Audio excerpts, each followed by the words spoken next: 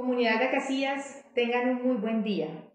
En la mañana de hoy, miércoles 24 de junio, siendo ya las 11, quiero compartirles el estado actual del COVID-19 en nuestro municipio.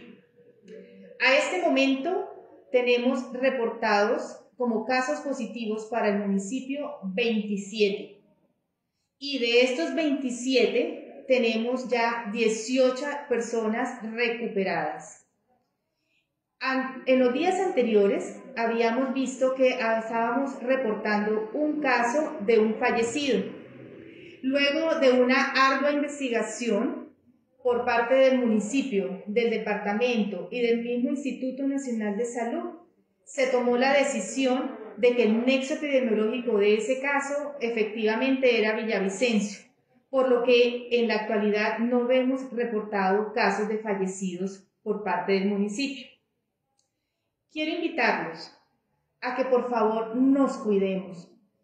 Salir adelante en esta pandemia es responsabilidad de cada uno de nosotros. No necesitamos un policía detrás de cada uno para saber cómo debo protegerme.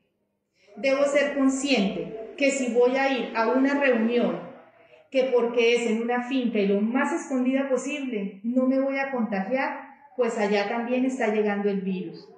Entonces, seamos responsables, comunidad. Cuidémonos entre todos. Ustedes, los jóvenes, ustedes muy posiblemente, al igual que todos los que hemos tenido hasta ahora, pueden tener unos síntomas que pueden ser manejables en casa.